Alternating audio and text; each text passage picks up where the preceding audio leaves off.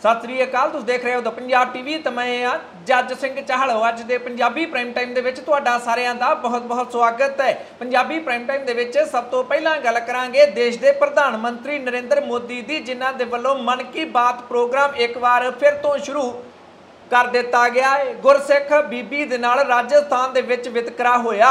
ਮਾਹੌਲ ਭਖਦਾ ਨਜ਼ਰ ਆ ਰਿਹਾ ਹੈ ਅਮਰਤਪਾਲ ਸਿੰਘ ਦੇ ਨਾਮ ਤੇ ਇੱਕ ਚਿੱਠੀ ਵਾਇਰਲ ਹੋਈ। ਸਮਰਥਕਾਂ ਦੇ ਵੱਲੋਂ ਇਸ ਨੂੰ ਜਾਲੀ ਕਰਾਰ ਦੇ ਦਿੱਤਾ ਗਿਆ ਹੈ ਭਗਵੰਤ ਮਾਨ ਨੇ ਜਲੰਧਰ ਦੇ ਵਿੱਚ ਘਰ ਕੀ ਕਿਰਾਏ ਤੇ ਲਿਆ? ਜਲੰਧਰ ਧਰਨਿਆਂ ਦਾ ਗੜ ਬਣਦਾ ਦਿਖਾਈ ਦਿੰਦਾ ਹੈ ਆਪਣੇ ਹੀ ਵਿਧਾਇਕ ਰਹੇ ਸ਼ੀਤਲ ਅੰਗਰਾਲ ਤੇ ਆਮ ਆਦਮੀ ਪਾਰਟੀ ਦੇ ਵੱਲੋਂ ਗੰਭੀਰ ਇਲਜ਼ਾਮ ਲਾਏ ਜਾਣ ਲੱਗ ਪਏ ਨੇ। ਅਕਾਲੀ ਦਲ ਦੇ ਵਿੱਚ ਹੋਈ ਬਗਾਵਤ ਨੂੰ ਲੈ ਕੇ ਸੁਖਬੀਰ ਸਿੰਘ ਬਾਦਲ ਖੁੱਲ ਕੇ ਬੋਲ ਪਏ ਨੇ। ਭਾਰਤੀ ਕ੍ਰਿਕਟ ਟੀਮ ਦੇ ਤਿੰਨ ਵੱਡੇ ਖਿਡਾਰੀਆਂ ਦੇ ਵੱਲੋਂ T20 ਤੋਂ ਸੰਨਿਆਸ ਲੈਣ ਦਾ ਐਲਾਨ ਕਰ ਦਿੱਤਾ ਗਿਆ।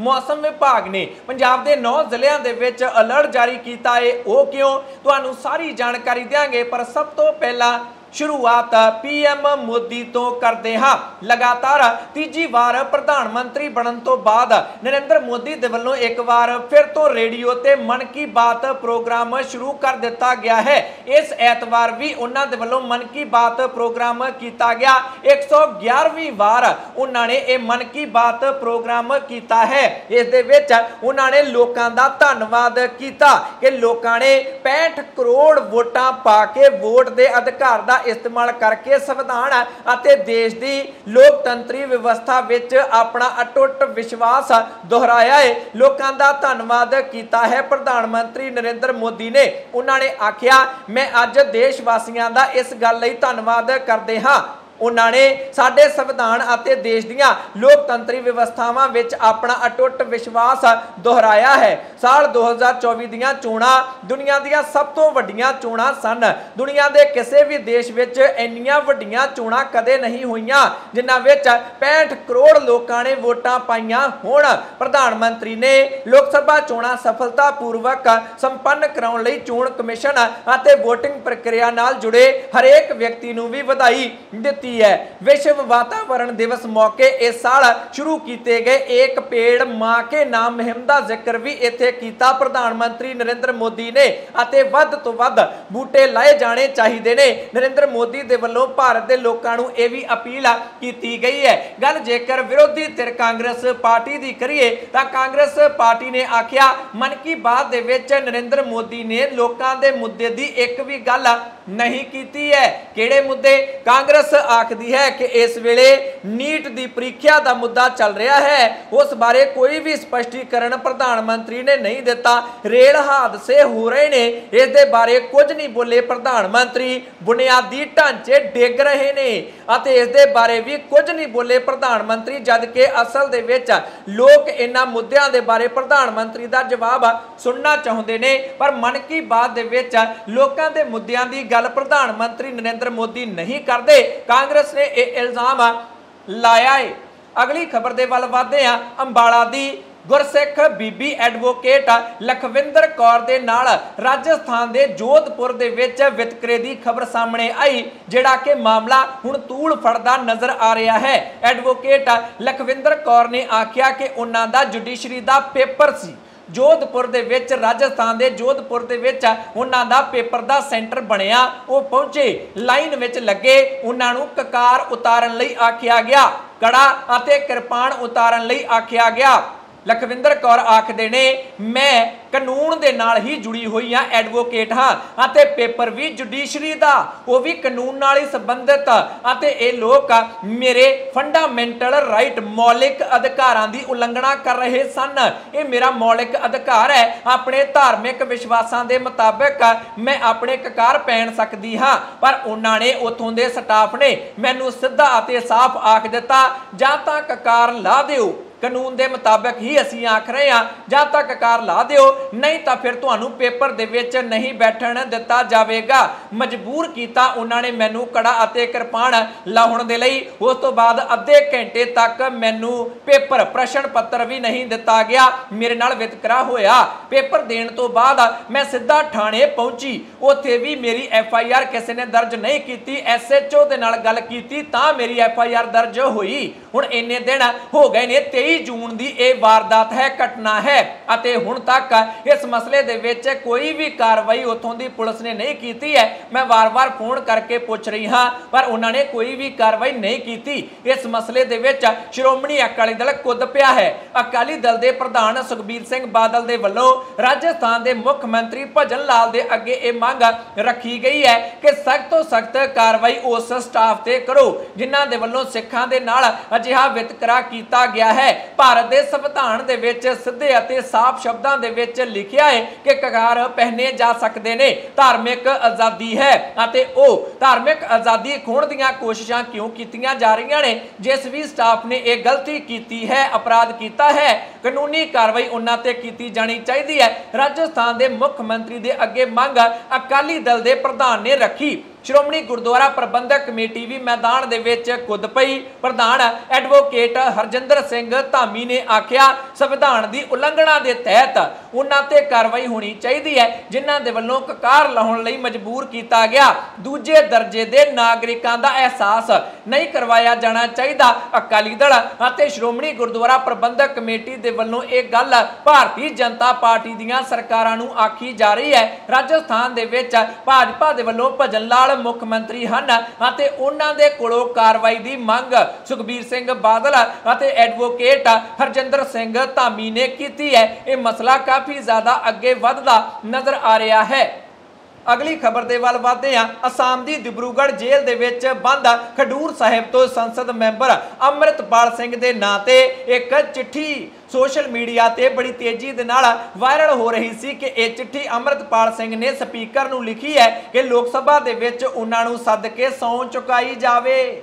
ਜਿਸ ਤੋਂ ਬਾਅਦ ਹੁਣ ਸੋਸ਼ਲ ਮੀਡੀਆ ਤੇ ਅਮਰਤਪਾਲ ਸਿੰਘ ਨਾਮ ਦਾ ਇੱਕ ਟਵਿੱਟਰ ਅਕਾਊਂਟ ਹੈ, ਜਿਸ ਦੇ ਵੱਲੋਂ ਇਹ ਦਾਵਾ ਕੀਤਾ ਗਿਆ ਕਿ ਇਹ ਚਿੱਠੀ ਜਾਲੀ ਹੈ। ਅਮਰਤਪਾਲ ਸਿੰਘ ਨੇ ਅਜਿਹੀ ਕੋਈ ਵੀ ਚਿੱਠੀ ਲੋਕ ਸਭਾ ਦੇ ਸਪੀਕਰ ਨੂੰ ਨਹੀਂ ਲਿਖੀ ਹੈ। ਇਹ ਜਾਣਬੁੱਝ ਕੇ ਅਕਸ ਨੂੰ ਖਰਾਬ ਕਰਨ ਦੀਆਂ ਕੋਸ਼ਿਸ਼ਾਂ ਕੀਤੀਆਂ ਜਾ ਰਹੀਆਂ ਨੇ ਕਿ ਵੇਖੋ ਅਮਰਤਪਾਲ ਸਿੰਘ, ਕਿਵੇਂ ਬੇਨਤੀਆਂ ਕਰ ਰਿਹਾ ਹੈ ਸਪੀਕਰ ਨੂੰ ਕਿ ਮੈਨੂੰ ਸੌਂ ਚੁਕਾਈ ਜਾਵੇ, ਜਦ ਕਿ ਅਜਿਹਾ ਬਿਲਕੁਲ ਨਹੀਂ ਹੈ।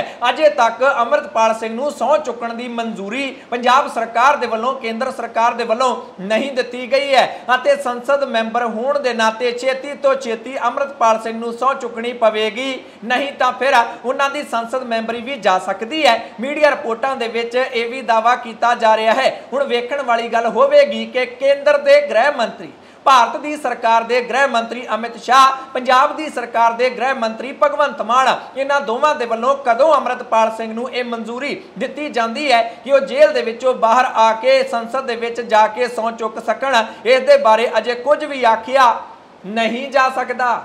ਅਗਲੀ ਖਬਰ ਦੇ ਵੱਲ ਵਧਦੇ ਹਾਂ। ਜਲੰਧਰ ਦੀ ਉਪ ਚੋਣ ਦਾ ਅਖਾੜਾ ਲਗਾਤਾਰ ਭਖਦਾ ਜਾ ਰਿਹਾ ਹੈ। ਭਾਜਪਾ ਦੇ ਵੱਲੋਂ ਆਪ ਵੱਲੋਂ ਵਿਧਾਇਕ ਰਹੇ ਸ਼ੀਤਲ ਅੰਗਰਾਲ ਨੂੰ ਆਪਣਾ ਉਮੀਦਵਾਰ ਬਣਾਇਆ ਗਿਆ ਹੈ ਆਮ ਆਦਮੀ ਪਾਰਟੀ ਲਗਾਤਾਰ ਸ਼ੀਤਲ ਅੰਗਰਾਲ ਦੇ ਖਿਲਾਫ ਗੰਭੀਰ ਇਲਜ਼ਾਮ ਲਾ ਰਹੀ ਹੈ। ਆਮ ਆਦਮੀ ਪਾਰਟੀ ਕਸੂਤੀ ਘਿਰੀ ਹੋਈ ਹੈ, ਕਿਉਂਕਿ ਇਸ ਮਸਲੇ ਤੇ ਉਹ ਕਰੇ ਕਿ? ਜੇਕਰ ਉਹ ਭਾਜਪਾ ਦੇ ਉਮੀਦਵਾਰ ਸ਼ੀਤਲ ਅੰਗਰਾਲ ਤੇ ਇਲਜ਼ਾਮ ਲਾਉਣਗੇ, ਤਾਂ ਸਵਾਲ ਇਹ ਉੱਠੇਗਾ ਕਿ ਤੁਸੀਂ ਫਿਰ ਉਸ ਨੂੰ ਟਿਕਟ ਕਿਉਂ ਦਿੱਤੀ ਸੀ? ਆਪਣਾ ਵਿਧਾਇਕ ਕਿਉਂ ਬਣਾਇਆ ਸੀ? ਤੁਸੀਂ ਕਿਹੜਾ ਕੱਢਿਆ? ਉਹ ਆਪ ਹੀ ਛੱਡ ਕੇ ਗਿਆ ਏ। ਇਸ ਦੇ ਬਾਵਜੂਦ ਆਮ ਆਦਮੀ ਪਾਰਟੀ ਦੇ ਵੱਲੋਂ ਧੜਾ ਧੜ ਗੰਭੀਰ ਇਲਜ਼ਾਮ ਸ਼ੀਤਲ ਅੰਗਰਾਲ ਤੇ ਲਾਏ ਜਾ ਰਹੇ ਨੇ। ਇੱਕ ਹੋਰ ਇਲਜ਼ਾਮ ਲਾ ਦਿੱਤਾ ਏ ਅਤੇ ਦਾਵਾ ਇਹ ਵੀ ਕੀਤਾ ਗਿਆ ਏ ਕਿ ਪੰਜਾਬ ਸਰਕਾਰ ਦੇ ਵੱਲੋਂ ਜਾਂਚ ਦੇ ਹੁਕਮ ਵੀ ਸ਼ੀਤਲ ਅੰਗਰਾਲ ਦੇ ਖਿਲਾਫ ਦੇ ਦਿੱਤੇ ਗਏ ਨੇ। ਮਾਲਵਿੰਦਰ ਸਿੰਘ ਕੰਗ ਦੇ ਵੱਲੋਂ ਜਲੰਧਰ ਦੇ ਵਿੱਚ ਇੱਕ ਪ੍ਰੈਸ ਕਾਨਫਰੰਸ ਕੀਤੀ ਗਈ, ਜਿਸ ਦੇ ਵਿੱਚ ਉਹਨਾਂ ਨੇ ਦਾਵਾ ਕੀਤਾ ਕਿ ਵਿਧਾਇਕ ਹੁੰਦਿਆਂ ਆਮ ਆਦਮੀ ਪਾਰਟੀ ਦਾ ਵਿਧਾਇਕ ਹੁੰਦਿਆਂ ਸ਼ੀਤਲ ਅੰਗਰਾਲ ਦੇ ਵੱਲੋਂ ਇੱਕ ਪਰਿਵਾਰ ਦੇ ਕੋਲੋਂ 5 ਲੱਖ 20 ਹਜ਼ਾਰ ਰੁਪਏ ਦੀ ਫਿਰੌਤੀ ਲਈ ਗਈ ਹੈ ਸਮਝੌਤਾ ਕਰਵਾਉਣ ਦੇ ਲਈ। ਕੰਗ ਨੇ ਜਾਣਕਾਰੀ ਦਿੱਤੀ ਕਿ ਕੁਝ ਕੁ ਮਹੀਨੇ ਪਹਿਲਾਂ ਸੰਦੀਪ ਕੁਮਾਰ ਨਾਮ ਦੇ ਵਿਅਕਤੀ ਦੇ ਵੱਲੋਂ ਇਹ ਸਾਰਾ ਖੁਲਾਸਾ ਕੀਤਾ ਗਿਆ। ਸਾਡੇ ਤੱਕ ਇਹ ਸ਼ਿਕਾਇਤ ਪਹੁੰਚਾਈ ਗਈ ਹੈ। ਸੰਦੀਪ ਕੁਮਾਰ ਹੈ ਵਿਅਕਤੀ ਜੋ ਕਿ ਆਸਟ੍ਰੇਲੀਆ ਦੇ ਵਿੱਚ ਪਰਿਵਾਰ ਸਮੇਤ ਰਹਿੰਦਾ ਹੈ। ਉਸ ਦਾ ਜਲੰਧਰ ਦੇ ਵਿੱਚ ਇੱਕ ਪਰਿਵਾਰਕ ਝਗੜਾ ਹੋ ਗਿਆ। ਸ਼ੀਤਲ ਅੰਗਰਾਲ ਦੇ ਭਰਾ ਰਾਜਨ ਅੰਗਰਾਲ ਨੇ ਆਖਿਆ, ਅਸੀਂ ਤੁਹਾਡਾ ਰਾਜੀਨਾਮਾ ਕਰਵਾ ਦਿਆਂਗੇ ਥਾਣੇ ਦੇ ਵਿੱਚ, ਪਰ 5 ਲੱਖ 20 ਹਜ਼ਾਰ ਰੁਪਈਆ ਲੱਗੇਗਾ। ਸੰਦੀਪ ਕੁਮਾਰ ਨੇ 5 ਲੱਖ 20 ਹਜ਼ਾਰ ਰੁਪਇਆ ਸ਼ੀਤਲ ਅੰਗਰਾਲ ਨੂੰ ਦੇ ਦਿੱਤਾ ਰਾਜਲ ਅੰਗਰਾਲ ਦੇ ਜ਼ਰੀਏ, ਭਾਵ ਉਸਦੇ ਭਰਾ ਦੇ ਜ਼ਰੀਏ, ਰਾਜਨ ਅੰਗਰਾਲ ਦੇ ਜ਼ਰੀਏ ਸ਼ੀਤਲ ਅੰਗਰਾਲ ਨੂੰ ਸੰਦੀਪ ਕੁਮਾਰ ਨੇ 5 ਲੱਖ 20 ਹਜ਼ਾਰ ਰੁਪਇਆ ਦੇ ਦਿੱਤਾ ਕਿ ਮੇਰਾ ਸਮਝੌਤਾ ਰਾਜੀਨਾਮਾ ਕਰਵਾ ਦਿਓ। ਉਸ ਤੋਂ ਬਾਅਦ ਉਹਨਾਂ ਨੇ ਆਖਿਆ ਕਿ 2 ਲੱਖ ਰੁਪਈਆ ਹੋਰ ਲੱਗਣਾ ਏ। ਸ਼ੀਤਲ ਅੰਗਰਾਲ ਦੇ ਭਰਾ ਨੇ ਆਖਿਆ 2 ਲੱਖ ਹੋਰ ਲੱਗਣਾ ਏ। 2 ਲੱਖ ਰੁਪਈਆ ਹੋਰ ਵੀ ਲੈ ਲਿਆ। 5 ਲੱਖ 20 ਹਜ਼ਾਰ ਰੁਪਏ ਦੇ ਸਬੂਤ ਵੀ ਹੈਗੇ ਨੇ। ਪੰਜਾਬ ਸਰਕਾਰ ਦੇ ਵੱਲੋਂ ਜਾਂਚ ਦੇ ਹੁਕਮ ਦੇ ਦਿੱਤੇ ਗਏ ਨੇ। ਛੇਤੀ ਹੀ ਸ਼ੀਤਲ ਅੰਗਰਾਲ ਤੇ ਕਾਰਵਾਈ ਕੀਤੀ ਜਾਵੇਗੀ। ਆਮ ਆਦਮੀ ਪਾਰਟੀ ਨੇ ਇਹ ਗੰਭੀਰ ਇਲਜ਼ਾਮ ਅੰਗਰਾਲ ਤੇ ਲਾ ਦਿੱਤੇ ਨੇ। ਹੁਣ ਜਦੋਂ ਵਾਰ-ਵਾਰ ਆਮ ਆਦਮੀ ਪਾਰਟੀ ਦੇ ਵੱਲੋਂ ਸ਼ੀਤਲ ਅੰਗਰਾਲ ਤੇ ਇਲਜ਼ਾਮ ਲਾਏ ਜਾ ਰਹੇ ਨੇ, ਆਮ ਆਦਮੀ ਪਾਰਟੀ ਤਾਂ ਆਖਦੀ ਹੈ, ਸ਼ੀਤਲ ਅੰਗਰਾਲ ਵਰਗਾ ਮਾੜਾ ਬੰਦਾ ਹੀ ਹੈ ਨਹੀਂ। ਜਿੰਨੇ ਗੈਰ ਕਾਨੂੰਨੀ ਕੰਮ ਸ਼ੀਤਲ ਅੰਗਰਾਲ ਨੇ ਕੀਤੇ ਨੇ ਇਹਨੇ ਸ਼ਾਇਦ ਹੀ ਪੰਜਾਬ ਦੇ ਕਿਸੇ ਲੀਡਰ ਨੇ ਕੀਤੇ ਹੁਣ। ਕੀ ਦੜਾ, ਕੀ ਸੱਟਾ, ਕੀ ਲੋਟਰੀ, ਕੀ ਕਿਡਨੈਪਿੰਗ, ਕੀ ਫਿਰੋਤੀਆਂ, ਸਾਰਾ ਕੁਝ ਕੀਤਾ ਹੈ। ਸ਼ੀਤਲ ਅੰਗਰਾਲ ਨੇ ਆਮ ਆਦਮੀ ਪਾਰਟੀ ਹੁਣ ਆਪ ਹੀ ਆਖੀ ਜਾਂਦੀ ਹੈ। ਪਰ ਉਹ ਆਮ ਆਦਮੀ ਪਾਰਟੀ ਦਾ ਹੀ ਵਿਧਾਇਕ ਸੀ। ਜਦੋਂ ਦੇ ਇਹ ਇਲਜ਼ਾਮ ਆਮ ਆਦਮੀ ਪਾਰਟੀ ਦੇ ਵੱਲੋਂ ਲਾਏ ਜਾ ਰਹੇ ਨੇ ਇਸ ਤਰੀਕੇ ਨਾਲ। ਆਮ ਆਦਮੀ ਪਾਰਟੀ ਸ਼ੀਤਲ ਅੰਗਰਾਲ ਦੇ ਮਸਲੇ ਤੇ ਕਸੂਤੀ ਘਿਰਦੀ ਨਜ਼ਰ ਆ ਰਹੀ ਹੈ। ਅੱਗੇ ਵਧਦੇ ਆ ਜਲੰਧਰ ਦੇ ਵਿੱਚ ਚੋਣ ਪ੍ਰਚਾਰ ਕਰਨ ਦੇ ਲਈ ਮੁੱਖ ਮੰਤਰੀ ਭਗਵੰਤ ਮਾਨ ਨੇ ਘਰ ਕਿਰਾਏ ਤੇ ਲਿਆ ਜਲੰਧਰ। ਧਰਨਿਆਂ ਦਾ ਗੜ ਬਣਦਾ ਜਾਂਦਾ ਏ। ਉਹਨਾਂ ਦੇ ਸ਼ਿਫਟ ਹੋਣ ਤੋਂ ਪਹਿਲਾਂ ਹੀ ਜਲੰਧਰ ਵਾਲੇ ਘਰ ਦੇ ਬਾਹਰ ਧਰਨੇ ਲੱਗਣ ਲੱਗ ਪਏ ਸਨ। ਹੁਣ ਵੈਟਨਰੀ ਵਰਕਰ ਯੂਨੀਅਨ ਦੇ ਵੱਲੋਂ ਮੁੱਖ ਮੰਤਰੀ ਭਗਵੰਤ ਮਾਨ ਦੇ ਜਲੰਧਰ ਵਾਲੇ ਘਰ ਦੇ ਵੱਲ ਨੂੰ ਮਾਰਚ ਕੀਤਾ ਗਿਆ। ਘਰ ਦਾ ਘਿਰਾਓ ਕਰਨਾ ਚਾਹੁੰਦੇ ਸਨ। ਇਹ ਮੁਜ਼ਾਹਰਾਕਾਰੀ ਜਦੋਂ ਪੁਲਿਸ ਦੇ ਵੱਲੋਂ ਇਹਨਾਂ ਨੂੰ ਰੋਕਿਆ ਗਿਆ ਤਾਂ ਇਹ ਟਾਵਰ ਤੇ ਚੜ ਗਏ। ਇਹ ਵੈਟਨਰੀ ਯੂਨੀਅਨ ਦੇ ਮੈਂਬਰ ਆਖਦੇ ਹਨ, ਪ੍ਰਦਰਸ਼ਨਕਾਰੀ ਆਖਦੇ ਨੇ, ਭਗਵੰਤ ਮਾਨ ਨੇ ਸਾਡੇ ਨਾਲ ਵਾਅਦਾ ਕੀਤਾ ਸੀ, ਪਹਿਲੀ ਕੈਬਨਿਟ ਦੇ ਵਿੱਚ ਤੁਹਾਨੂੰ ਪੱਕਿਆਂ ਕਰ ਦਿਆਂਗਾ। ਪਹਿਲੀ ਕੈਬਨਿਟ ਦੇ ਵਿੱਚ। ਜੇਕਰ ਮੇਰੀ ਸਰਕਾਰ ਬਣਦੀ ਹੈ, ਤਾਂ ਪਹਿਲੀ ਹੀ ਕੈਬਨਿਟ ਬੈਠਕ ਦੇ ਵਿੱਚ ਮੈਂ ਤੁਹਾਨੂੰ ਪੱਕਾ ਕਰ ਦਿਆਂਗਾ। ਅੱਧੀ ਸਰਕਾਰ ਲੰਘ ਗਈ ਹੈ। ਹੁਣ ਤਾਂ ਭਗਵੰਤ ਮਾਨ ਮਿਲਦਾ ਤੱਕ ਨਹੀਂ। ਗੁੰਮਸ਼ੁਦਾ ਦੀ ਤਲਾਸ਼ ਦੇ ਬੈਨਰ ਲੈ ਕੇ ਪਹੁੰਚੇ। ਇਹ ਮੁਜ਼ਾਹਰਾਕਾਰੀ ਅਤੇ ਟਾਵਰ ਤੇ ਚੜ ਗਏ। ਜਲੰਧਰ ਦੀ ਪੁਲਿਸ ਨੂੰ ਵੀ ਕਾਫੀ ਜ਼ਿਆਦਾ ਮਿਹਨਤ ਮੁਸ਼ਕਲ ਦਾ ਸਾਹਮਣਾ ਕਰਨਾ ਪੈ ਰਿਹਾ ਹੈ। ਜੇਕਰ ਭਗਵੰਤ ਮਾਨ ਸੱਚਮੁੱਚ ਹੀ ਅਗਲੀਆਂ ਚੋਣਾਂ ਤੱਕ ਜਲੰਧਰ ਵਾਲੇ ਘਰ ਦੇ ਵਿੱਚ ਰਹਿੰਦੇ ਨੇ, ਤਾਂ ਸੰਗਰੂਰ ਤਾਂ ਧਰਨਿਆਂ ਦਾ ਗੜ ਬਣਿਆ ਹੀ ਹੋਇਆ ਹੈ ਪਰ ਨਾਲ ਦੀ ਨਾਲ ਜਲੰਧਰ ਵੀ ਧਰਨਿਆਂ ਦਾ ਗੜ ਹੁਣ ਪੱਕੇ ਤੌਰ ਤੇ ਬਣਿਆ ਹੀ ਰਹੇਗਾ, ਕਿਉਂਕਿ ਬਹੁਤ ਸਾਰੇ ਵਰਗਾਂ ਦੇ ਨਾਲ ਆਪ ਨੇ ਵਾਅਦੇ ਕੀਤੇ ਸਨ। ਪਰ ਵਾਅਦੇ ਵਫਾ ਨਹੀਂ ਹੋ ਸਕੇ, ਜਿਸ ਕਰਕੇ ਉਹਨਾਂ ਦੇ ਵੱਲੋਂ ਮੁਜ਼ਾਹਰੇ ਕੀਤੇ ਜਾਂਦੇ ਨੇ, ਜਿਸ ਕਰਕੇ ਆਸ-ਪਾਸ ਰਹਿੰਦੇ ਲੋਕਾਂ ਨੂੰ ਵੀ ਮੁਸ਼ਕਲਾਂ ਦਾ ਸਾਹਮਣਾ ਕਰਨਾ ਪੈ ਜਾਂਦਾ ਹੈ। ਅਗਲੀ ਖਬਰ ਦੇ ਵੱਲ ਵਧਦੇ ਹਾਂ। ਪਟਿਆਲਾ ਦੇ ਵਿੱਚ ਸਿਹਤ ਮੰਤਰੀ ਡਾਕਟਰ ਬਲਬੀਰ ਸਿੰਘ ਦੇ ਘਰ ਦਾ ਘਿਰਾਓ ਬੇਰੁਜ਼ਗਾਰ ਹੈਲਥ ਵਰਕਰਾਂ ਦੇ ਵੱਲੋਂ ਕੀਤਾ ਗਿਆ। ਇਹ ਹੈਲਥ ਵਰਕਰ ਆਖਦੇ ਨੇ, ਹਜ਼ਾਰਾਂ ਅਸਾਮੀਆਂ ਖਾਲੀ ਪਈਆਂ ਨੇ। ਮਹਿਕਮੇ ਦੇ ਵਿੱਚ ਹੈਲਥ ਵਰਕਰਾਂ ਦੀਆਂ, ਜਿਨ੍ਹਾਂ ਨੂੰ ਕਿ ਭਰਿਆ ਨਹੀਂ ਜਾ ਰਿਹਾ। ਹਰ ਵਾਰ ਜਦੋਂ ਵੀ ਮੀਟਿੰਗ ਹੁੰਦੀ ਹੈ, ਮਾਰਚ, ਅਪ੍ਰੈਲ ਦੇ ਵਿੱਚ ਭਰੋਸਾ ਦਿੱਤਾ ਸੀ ਸਿਹਤ ਮੰਤਰੀ ਨੇ ਕਿ ਛੇਤੀ ਤੋਂ ਛੇਤੀ ਅਸਾਮੀਆਂ ਭਰੀਆਂ ਜਾਣਗੀਆਂ। ਜੂਨ ਦਾ ਮਹੀਨਾ ਵੀ ਲੰਘ ਗਿਆ ਹੈ, ਪਰ ਅਜੇ ਤੱਕ ਇਸ ਨੂੰ ਲੈ ਕੇ ਕੋਈ ਵੀ ਇਸ਼ਤਿਹਾਰ, ਕੋਈ ਵੀ ਨੋਟੀਫਿਕੇਸ਼ਨ ਕੋਈ ਵੀ ਐਲਾਨ ਸਰਕਾਰ ਨੇ ਨਹੀਂ ਕੀਤਾ ਹੈ। ਹੁਣ ਅਸੀਂ ਕਰਾਂਗੇ ਕੀ? ਵੈਸੇ ਡਾਕਟਰ ਬਲਬੀਰ ਸਿੰਘ ਦੇ ਵੱਲੋਂ ਇਹਨਾਂ ਮੁਜ਼ਾਹਰਾਕਾਰੀਆਂ ਨੂੰ ਅੰਦਰ ਸੱਦ ਕੇ, ਆਪਣੇ ਘਰ ਸੱਦ ਕੇ ਇਹਨਾਂ ਦਾ ਮੰਗ ਪੱਤਰ ਲੈ ਲਿਆ ਗਿਆ। ਇਸ ਦੇ ਬਾਵਜੂਦ ਇਹ ਮੁਜ਼ਾਹਰਾਕਾਰੀ ਆਖਦੇ ਨੇ, ਇਹ ਸਰਕਾਰ ਲਾਉਂਦੀ ਹੈ ਲਾਰੇ। ਅਸੀਂ ਕੀ ਕਰਾਂਗੇ? ਅਸੀਂ ਹੁਣ ਜਾਵਾਂਗੇ ਜਲੰਧਰ ਜਲੰਧਰ ਜਾਵਾਂਗੇ। ਉੱਥੇ ਹੈ ਚੋਣ। 7 ਤਰੀਕ ਨੂੰ ਜਲੰਧਰ ਦੇ ਵਿੱਚ ਪੰਜਾਬ ਸਰਕਾਰ ਦੇ ਖਿਲਾਫ ਅਸੀਂ ਰੋਸ ਪ੍ਰਦਰਸ਼ਨ ਕਰਾਂਗੇ। ਜਲੰਧਰ ਦੇ ਲੋਕਾਂ ਨੂੰ ਜਾ ਕੇ ਦੱਸਾਂਗੇ ਕਿ ਕਿਵੇਂ ਇਹ ਸਰਕਾਰ ਵਾਅਦਾ ਖਿਲਾਫੀ ਕਰਦੀ ਹੈ। ਬੇਰੋਜ਼ਗਾਰ ਹੈਲਥ ਵਰਕਰਾਂ ਦੇ ਵੱਲੋਂ ਆਮ ਆਦਮੀ ਪਾਰਟੀ ਦੇ ਖਿਲਾਫ, ਪੰਜਾਬ ਸਰਕਾਰ ਦੇ ਖਿਲਾਫ ਇਹ ਵੱਡਾ ਐਲਾਨ ਕਰ ਦਿੱਤਾ ਗਿਆ ਹੈ। ਜਲੰਧਰ ਪੱਛਮੀ ਦੀ ਉਪ ਚੋਣ ਦੇ ਵਿੱਚ ਵਿਰੋਧ ਦਾ ਸਾਹਮਣਾ, ਵਿਰੋਧ ਪ੍ਰਦਰਸ਼ਨਾਂ ਦਾ ਸਾਹਮਣਾ ਵੀ ਆਮ ਆਦਮੀ ਪਾਰਟੀ ਨੂੰ ਕਰਨਾ ਪੈ ਰਿਹਾ ਹੈ। ਅਗਲੀ ਖਬਰ ਦੇ ਵੱਲ ਵਧਦੇ ਆ ਪੰਜਾਬ ਦਾ ਸਭ ਤੋਂ ਮਹਿੰਗਾ toll plaza Ladowal toll plaza ਲੁਧਿਆਣੇ ਦੇ ਵਿੱਚ ਪੈਂਦਾ ਹੈ। ਇੱਥੇ ਬੀਤੇ 15 ਦਿਨਾਂ ਤੋਂ ਕਿਸਾਨ ਜਥੇਬੰਦੀਆਂ ਦੇ ਵੱਲੋਂ ਧਰਨਾ ਦਿੱਤਾ ਜਾ ਰਿਹਾ ਸੀ। ਇਸ ਨੂੰ ਪਰਚੀ ਮੁਕਤ ਕਰਵਾਇਆ ਗਿਆ ਸੀ। ਮੰਗ ਕੀਤੀ ਜਾ ਰਹੀ ਸੀ, ਬੇਤਹਾਸ਼ਾ ਟੋਲ ਪਰਚੀ ਵਧਾ ਦਿੱਤੀ ਹੈ। ਘੱਟ ਕਰੋ, ਵਾਜਬ ਕਰੋ। ਜੈ ਜੈ ਲਾ ਲਓ। ਆਖਿਆ ਕਿਸਾਨਾਂ ਨੇ, ਪਰ national highway authority of India ਜੋ ਕਿ ਕੇਂਦਰ ਸਰਕਾਰ ਦੇ ਅੰਡਰ ਆਉਂਦੀ ਹੈ, ਉਹਨਾਂ ਦੇ ਵੱਲੋਂ ਕਿਸਾਨਾਂ ਦੇ ਨਾਲ ਕੋਈ ਵੀ ਗੱਲਬਾਤ 15 ਦਿਨਾਂ ਤੱਕ ਨਾ ਕੀਤੀ ਗਈ। ਤਾਂ ਫਿਰ ਕਿਸਾਨਾਂ ਦੇ ਵੱਲੋਂ ਲਾਡੋਵਾਲ ਟੋਲ ਪਲਾਜ਼ਾ ਪੱਕੇ ਤੌਰ ਤੇ ਬੰਦ ਕਰ ਦਿੱਤਾ ਗਿਆ ਹੈ। ਪੰਜਾਬ ਦਾ ਸਭ ਤੋਂ ਮਹਿੰਗਾ ਟੋਲ ਪਲਾਜ਼ਾ ਕਿਸਾਨਾਂ ਨੇ ਪੱਕੇ ਤੌਰ ਤੇ ਹੀ ਬੰਦ ਕਰ ਦਿੱਤਾ ਹੈ ਜੋ ਕੈਬਿਨ ਬਣੇ ਹੋਏ ਨੇ ਪਰਚੀ ਕੱਟਣ ਵਾਲੇ, ਉਹਨਾਂ ਤੇ ਤਰਪਾਲਾਂ ਵਲੇੜ ਦਿੱਤੀਆਂ ਨੇ ਅਤੇ ਉਸ ਦੇ ਉੱਪਰ ਕਿਸਾਨੀ ਝੰਡੇ ਗੱਡ ਦਿੱਤੇ ਨੇ ਅਤੇ ਆਪਣਾ ਧਰਨਾ ਇਸ ਟੋਲ ਪਲਾਜ਼ੇ ਤੋਂ ਕਿਸਾਨਾਂ ਨੇ ਚੁੱਕ ਲਿਆ ਹੈ ਕਿਸਾਨ ਆਗੂ ਮਨਜੀਤ ਰਾਏ ਤੋਂ ਪੁੱਛਿਆ ਗਿਆ, ਪੱਤਰਕਾਰਾਂ ਨੇ ਪੁੱਛਿਆ, ਤੁਸੀਂ ਤਾਂ ਚੱਲੇ ਹੋ। ਜੇ ਉਹਨਾਂ ਨੇ ਫਿਰ ਸ਼ੁਰੂ ਕਰ ਲਿਆ ਮਨਜੀਤ ਰਾਏ ਨੇ ਆਖਿਆ, ਅਸੀਂ ਸਾਰੇ ਪੰਜਾਬ ਦੇ ਲੋਕਾਂ ਨੂੰ ਦੱਸਣਾ ਚਾਹੁੰਦੇ ਆ ਇਹ ਟੋਲ ਪਲਾਜ਼ਾ ਹੈ ਬੰਦ। ਜੇਕਰ ਤੁਹਾਡੇ ਤੋਂ ਕੋਈ ਵੀ ਪਰਚੀ ਲੈਣ ਦੀ ਕੋਸ਼ਿਸ਼ ਕਰਦਾ ਹੈ, ਸਾਨੂੰ ਦੱਸੋ। ਆਸ-ਪਾਸ ਦੇ ਪਿੰਡਾਂ ਦੇ ਲੋਕ ਹੀ ਅਸੀਂ ਇੱਥੇ ਧਰਨੇ ਤੇ ਬੈਠੇ ਹੋਏ ਸੀ ਅਤੇ ਸਾਨੂੰ ਉਸੇ ਵੇਲੇ ਪਤਾ ਲੱਗ ਜਾਣਾ, ਜੇਕਰ ਇਹਨਾਂ ਨੇ ਖੋਲਣ ਦੀ ਕੋਸ਼ਿਸ਼ ਕੀਤੀ, ਅਸੀਂ ਫੇਰ ਆ ਜਾਣਾ। ਨਹੀਂ ਖੁੱਲਣ ਦੇਾਂਗੇ ਇਹਨਾਂ ਨੇ ਤਾਂ ਸਾਨੂੰ ਅਜੇ ਤੱਕ ਇਹ ਦਸਤਾਵੇਜ਼ ਨਹੀਂ ਦਿਖਾਇਆ ਕਿ ਇਹ ਮਿਆਦ ਕਿੱਥੋਂ ਤੱਕ ਹੈ ਟੋਲ ਪਲਾਜ਼ੇ ਦੀ। ਇਹ ਕਦੋਂ ਮੁੱਕਣਾ ਹੈ ਇਹ ਕਦੋਂ ਖਤਮ ਹੋਣਾ ਹੈ ਅਜੇ ਤੱਕ ਇਹਨਾਂ ਨੇ ਸਾਨੂੰ ਉਹ ਦਸਤਾਵੇਜ਼ ਨਹੀਂ ਦਿਖਾਇਆ। ਇਹਨਾਂ ਦੇ ਦਿਲ 'ਚ ਚੋਰ ਜਾਪਦਾ ਏ। ਦੱਸਦੇ ਨਹੀਂ ਕਿ ਕਦੋਂ ਇਸ ਦੀ ਆਖਰੀ ਤਰੀਕ ਹੈ। ਪਹਿਲਾਂ ਸਾਡੇ ਨਾਲ ਗੱਲ ਕਰਨਗੇ, ਸਾਨੂੰ ਆਖਰੀ ਤਰੀਕ ਦੱਸਣਗੇ ਡਾਕੂਮੈਂਟ ਦਸਤਾਵੇਜ਼ ਦਿਖਾਉਣਗੇ, ਉਸ ਤੋਂ ਬਾਅਦ ਪਰਚੀ ਘਟਾਉਣਗੇ ਤਾਂ ਟੋਲ ਪਲਾਜ਼ਾ ਚਲਾਉਣ ਦੇਾਂਗੇ ਨਹੀਂ ਤਾਂ ਇਹ ਪੱਕੇ ਤੌਰ ਤੇ ਅੱਜ ਬੰਦ ਕਰ ਦਿੱਤਾ ਗਿਆ ਹੈ ਕਿਸਾਨਾਂ ਨੇ ਬਹੁਤ ਵੱਡਾ ਐਲਾਨ ਲਾਡੋਵਾਲ ਟੋਲ ਪਲਾਜ਼ਾ ਦੇ ਬਾਰੇ ਕਰ ਦਿੱਤਾ ਹੈ ਅਗਲੀ ਖਬਰ ਦੇ ਵੱਲ ਵਧਦੇ ਆ। ਸ਼੍ਰੋਮਣੀ ਅਕਾਲੀ ਦਲ ਦੇ ਵਿੱਚ ਵੱਡੀ ਬਗਾਵਤ ਹੋਈ। ਦੋਵਾਂ ਧੜਿਆਂ ਦੇ ਵੱਲੋਂ ਇੱਕ ਦੂਜੇ ਤੇ ਵਾਰ ਪਲਟਵਾਰ ਕੀਤਾ ਜਾ ਰਿਹਾ ਸੀ। ਪਰ ਪ੍ਰਧਾਨ ਸੁਖਬੀਰ ਸਿੰਘ ਬਾਦਲ ਇਸ ਮੁੱਦੇ ਤੇ ਨਹੀਂ ਬੋਲੇ ਸਨ। ਹੁਣ ਉਹ ਬੋਲ ਪਏ ਨੇ, ਉਹ ਵੀ ਖੁੱਲ ਕੇ।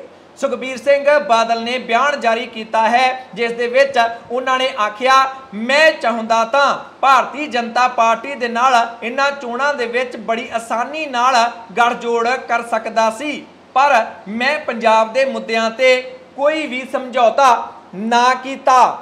ਕਿਹੜੇ ਮੁੱਦੇ? ਜਿਵੇਂ ਕਿ ਬੰਦੀ ਸਿੰਘਾਂ ਦਾ ਮੁੱਦਾ, ਜਿਵੇਂ ਕਿ ਪੰਜਾਬ ਦੇ ਪਾਣੀਆਂ ਦਾ ਮੁੱਦਾ, ਜਿਵੇਂ ਕਿ ਪੰਜਾਬ ਦੀ ਰਾਜਧਾਨੀ ਦਾ ਮੁੱਦਾ। ਇਸ ਤੋਂ ਇਲਾਵਾ ਮੈਂ ਉਹਨਾਂ ਨਾਲ ਸੀਟਾਂ ਦੇ ਲੈਣ ਦੇਣ ਦੇ ਬਾਰੇ ਗੱਲ ਹੀ ਨਹੀਂ ਕੀਤੀ। ਪਹਿਲਾਂ ਆਖਿਆ ਇਹ ਮੁੱਦੇ, ਫਿਰ ਆਖਿਆ ਸੀਟਾਂ ਦੀ ਗੱਲਬਾਤ।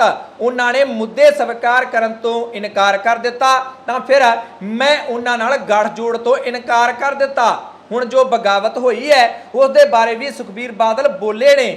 ਉਹਨਾਂ ਨੇ ਆਖਿਆ, ਇਹ ਜੋ ਇਸ ਵੇਲੇ ਪਾਰਟੀ ਨੂੰ ਨੁਕਸਾਨ ਪਹੁੰਚਾਉਣ ਦੀਆਂ ਸਾਜ਼ਿਸ਼ਾਂ ਰਚੀਆਂ ਜਾ ਰਹੀਆਂ ਨੇ, ਇਹਨਾਂ ਦੇ ਪਿੱਛੇ ਵੱਡੇ ਲੋਕਾਂ ਦਾ ਹੱਥ ਹੈ। ਵੱਡੇ ਲੋਕਾਂ ਤੋਂ ਉਹਨਾਂ ਦਾ ਮਤਲਬ, ਭਾਰਤੀ ਜਨਤਾ ਪਾਰਟੀ ਹੈ, ਕਿਉਂਕਿ ਉਹ ਪਹਿਲਾਂ ਇਹ ਗੱਲ ਆਖ ਚੁੱਕੇ ਨੇ। ਇਥੋਂ ਤੱਕ ਉਹਨਾਂ ਨੇ ਆਖ ਦਿੱਤਾ ਕਿ ਪ੍ਰੋਫੈਸਰ ਪ੍ਰੇਮ ਸਿੰਘ ਚੰਦੂ ਮਾਜਰਾ ਤੇ ਸੁਰਜੀਤ ਰਖੜਾ ਇੱਕ ਦੂਜੇ ਨੂੰ ਵੇਖਣਾ ਵੀ ਪਸੰਦ ਨਹੀਂ ਕਰਦੇ ਸੀ। ਪਰ ਅੱਜ ਬਗਾਵਤ ਕਰਕੇ ਸ਼੍ਰੋਮਣੀ ਅਕਾਲੀ ਦਲ ਨੂੰ ਨੁਕਸਾਨ ਪਹੁੰਚਾਉਣ ਵਾਲਿਆਂ ਦੇ ਵਿੱਚ ਸਭ ਤੋਂ ਮੋਹਰੀ ਰੋਲ ਇਹ ਦੋਵੇਂ ਹੀ ਨਿਭਾ ਰਹੇ ਨੇ ਅਤੇ ਅਕਾਲੀ ਦਲ ਨੂੰ ਨੁਕਸਾਨ ਪਹੁੰਚਾਉਣ ਦੀਆਂ ਇਹ ਸਾਂਝੀਆਂ ਕੋਸ਼ਿਸ਼ਾਂ ਕਰ ਰਹੇ ਨੇ। ਫਿਰ ਵੀ ਮੈਂ ਉਹਨਾਂ ਲਈ ਅਕਾਲੀ ਦਲ ਦੇ ਦਰ ਖੁੱਲੇ ਰੱਖੇ ਹਨ। ਉਹ ਕਿਸੇ ਵੀ ਵੇਲੇ ਪਾਰਟੀ ਵਿੱਚ ਆ ਕੇ ਆਪਣੀਆਂ ਸ਼ਿਕਾਇਤਾਂ ਦੱਸ ਸਕਦੇ ਨੇ ਅਤੇ ਅਸੀਂ ਜਵਾਬ ਦੇਣ ਲਈ ਤਿਆਰ ਹਾਂ। ਸੁਖਬੀਰ ਬਾਦਲ ਨੇ ਬਾਗੀਆਂ ਨੂੰ ਸੱਦਾ ਦੇ ਦਿੱਤਾ ਹੈ। ਮੈਂ ਜਵਾਬ ਦੇਣ ਲਈ ਤਿਆਰ ਹਾਂ। ਪਾਰਟੀ ਦੇ ਵਿੱਚ ਆ ਕੇ ਆਪਣੀਆਂ ਸ਼ਿਕਾਇਤਾਂ ਦੱਸੋ। ਪ੍ਰੇਮ ਸਿੰਘ ਚੰਦੂ ਮਾਜਰਾ ਅਤੇ ਸੁਰਜੀਤ ਰਖੜਾ ਦਾ ਨਾਮ ਲੈ ਕੇ ਸੁਖਬੀਰ ਬਾਦਲ ਦੇ ਵੱਲੋਂ ਇਹ ਬਿਆਨ ਜਾਰੀ ਕਰ ਦਿੱਤਾ ਗਿਆ ਹੈ।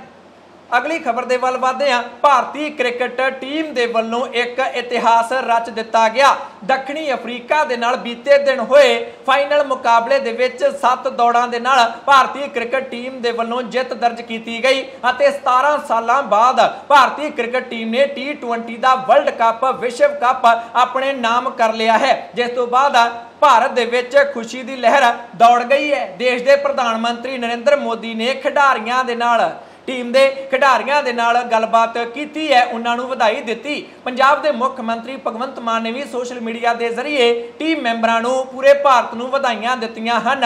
ਵਿਰੋਧੀ ਧਿਰਾਂ ਦੇ ਲੀਡਰਾਂ ਦੇ ਵੱਲੋਂ ਰਾਹੁਲ ਗਾਂਧੀ, ਪੰਜਾਬ ਦੇ ਵਿਰੋਧੀ ਧਿਰਾਂ ਦੇ ਲੀਡਰ, ਇਹਨਾਂ ਸਾਰਿਆਂ ਨੇ ਵੀ ਖੁਸ਼ੀ ਦਾ ਇਜ਼ਹਾਰ ਕੀਤਾ ਹੈ ਕਿ ਭਾਰਤੀ ਕ੍ਰਿਕਟ ਟੀਮ ਨੇ A2020 ਵਰਲਡ ਕੱਪ ਆਪਣੇ ਨਾਮ ਕਰ ਲਿਆ ਹੈ। ਪਰ ਇਸ ਤੋਂ ਬਾਅਦ ਹੁਣ ਸੰਨਿਆਸ ਦੀਆਂ ਖਬਰਾਂ ਵੀ ਧੜਾ ਧੜਾ ਰਹੀਆਂ ਨੇ।